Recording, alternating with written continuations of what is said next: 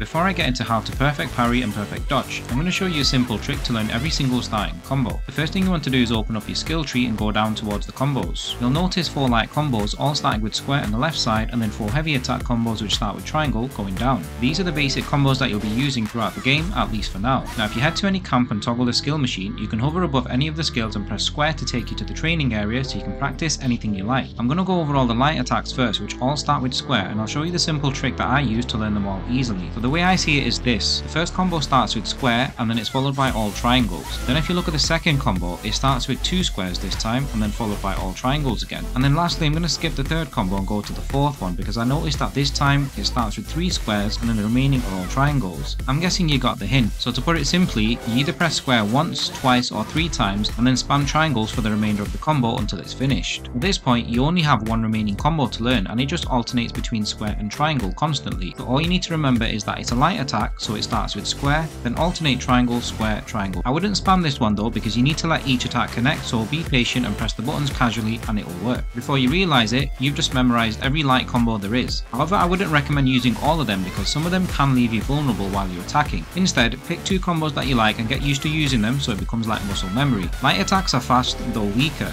but you're less likely to get stuck in attack animations and you'll have more of a chance to parry or evade incoming attacks. Lastly, I should probably mention that you can also just press square 4 times for the neutral combo which isn't in the skill tree though it's not very flashy or strong. As you may have guessed, I use a similar mental approach to how I remember the heavy attack combos too. They all start with triangle and they are your heavy and more powerful attacks, but generally you'll be stuck in an attack animation longer, so you want to use these when you know the enemy or boss is staggered or if you may be attacking from behind. There's also one bonus combo that's not even in the skill tree, so I'll show you that after these 4 heavy combos. Now the first combo in the list is pretty straightforward, triangle 3 times. I personally like this because it does decent damage and looks pretty sick. Next I'm going to skip to the fourth combo and the reason is because if you remember the alternating light attack I just went over before, well this is just like that. All you need to remember is that it's a strong attack meaning start with triangle and then just alternate square, triangle, square, triangle. I link the two alternating combos together in my head like this because it's easy to remember. In a fight it's just up to you if you want to hit light or hit hard. If you're with me so far then you've done pretty well because there's literally only two strong combos left to learn and they're easy because it's the same button input for both combos. The first variation is triangle, square, square, square, triangle. The second variation is triangle, square, and then press and hold square, triangle.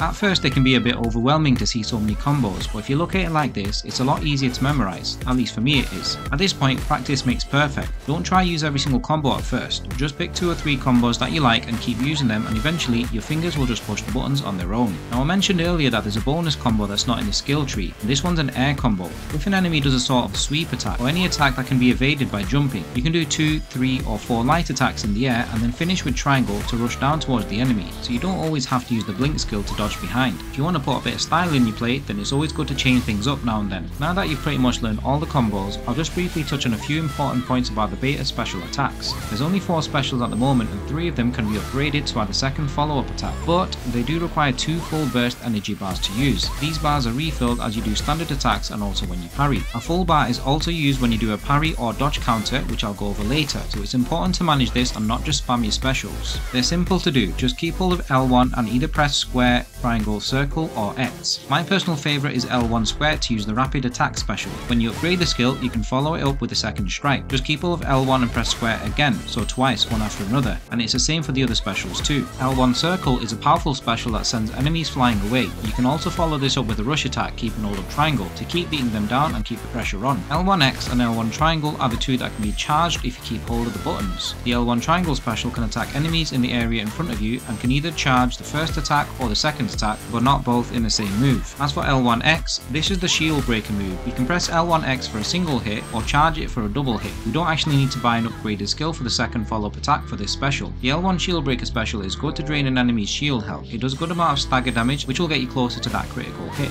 In summary, you should use the right special depending on if you're fighting a single enemy or a group or an enemy with a good shield. Again, good times to use them are when an enemy is staggered after parries, dodges and special counters. Now before I give some super useful tips on how to perfect dodge and perfect parry, there are a few things you can do to make them all a whole lot easier. The first thing is on the skill tree, you can see that after unlocking parry and dodge, there's an upgraded skill which makes parries and dodges even easier to do, so you want to unlock these. The second thing is based on your gear and equipment, if you look at the exo spine, some equipment will make it so that parries and dodges are even easier to do. Though I wouldn't recommend this unless you're really struggling because in my opinion, it's not that hard to parry and dodge in this game once you know the tricks behind it which I'm going to show you. Equipping this Exo Spine, you'll be missing out on other options which can make you stronger or give you a better defense, but ultimately it's up to you. The last thing for now is that certain gears may help too. I like to equip gears that increase the speed of my melee attacks because it means I'm less likely to get stuck in an attack animation, allowing me to have a better chance to parry or evade an incoming attack. Now you may not have access to these equipment right at the start of the game, and there may be even better gear later on, so it may seem harder to pull off these parries and dodges at first, but once you have these things, perfect parrying and dodging may just become too easy. With that out of the way, I'm going to go over my best tips on how to perfect parry, dodge and counter. Luckily, Stellar Blade is a bit more generous with the timing of perfect parries and dodges in my opinion, and the timing to do them are near enough the same, so if you know when to parry, then you know when to dodge and vice versa. But there's something even more important than timing that will make dodges and parries even easier, and I'll go over that a little later.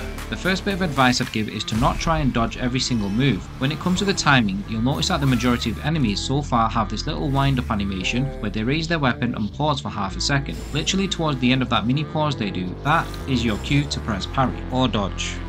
You can even see the Stalker boss from the demo. When he jumps in the air, you can see he pauses for half a second. Just towards the end of his pause is your sign to dodge. This half a second pause usually happens when enemies just do a singular attack, so you can instantly counter it. But the thing to look out for is when enemies do combos, but you'll naturally start to recognize this after fighting them a few times. When maybe a 2 or 3 hit combo is incoming, you'll often notice how they pause for about a second instead of half a second, so you just need to hold off a half a second longer before you dodge or parry. And probably if you notice a combo coming, it may be better to parry instead of dodging. This probably won't work on every single enemy combo, but it will help you get used to that timing quicker for when the game does get harder. Now you obviously can't dodge too late or too early, but to me I feel as though you want to be more on the early side of dodging. If you try to dodge an attack at the absolute last second, you often get hit, and the same goes for perfect parries, but keep that in mind for the perfect timing. I'd also recommend going to the training area to practice this for yourself. With perfect parries on the other hand, I want to go into a little bit more detail. There's two parts to successful parrying. The first one is timing, which I just went over, same as the perfect dodge. The second thing is rhythm. I will 100% say that rhythm is more important than timing itself and I'll show you why with examples. Take this 4 hit combo from the Stalker boss. He does one hit, then pauses, then two consecutive hits, then pauses, then one more hit. So the rhythm in my head is 1, 1, 2, 1. With a bit of practice, you'll see that after the first hit, it's like a half a second pause before the next two parries, but his last hit takes a bit longer to come and you have to wait near a whole second before the final parry. So again it looks like this, 1, pause, 1, 2, pause, 1. So the point I'm trying to get at is, don't just fight enemies and bosses randomly, look at their attack patterns and try to learn them so you can parry to their rhythm. If you remember what I said earlier about incoming combos, sometimes you can see the start up animation of an enemy ready to do a combo, meaning wait about a second before you parry, then just remember the rhythm of for example 1, 2, 3, 4, pause, 1 for this combo. But this isn't always going to be the case. Some combos will come thick and fast, but as long as you know the rhythm, even if you get hit on the first move, you can still adjust your timing and join the rhythm for the rest of the parries, like this one I just showed. Similarly, this basic shield enemy does a 3 hit combo as well. The rhythm is 1, pause, 1, 2. You can even see its wind up animation, how it goes wide and pauses. Towards the end of this pause is your timing to parry, then use the rhythm of 1, 1, 2. Now I know this is meant to be a beginner guide to get you going, but if you want to take things to the next level, then you can try this after you get used to parrying.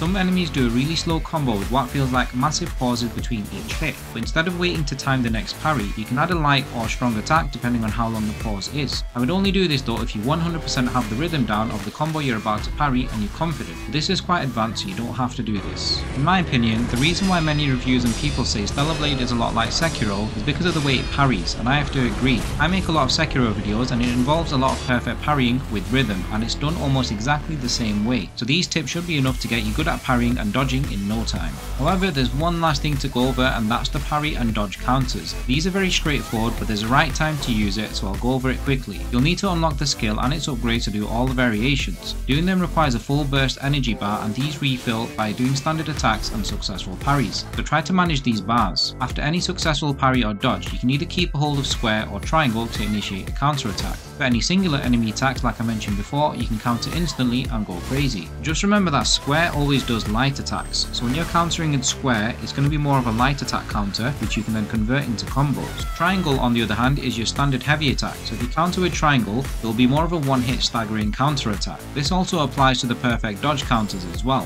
One very useful tip you should know is that if a 3 or 4 hit combo is incoming, and if you counter after the first hit, there's a chance that your counter may not stop the enemy from doing his full combo, and you might still take damage. So it's better to try parry the whole combo, and on the final parry, use the counter special. That said, said, the triangle counter does do some good knockback, so if you use this one, it can sometimes stop the enemy from continuing his combo.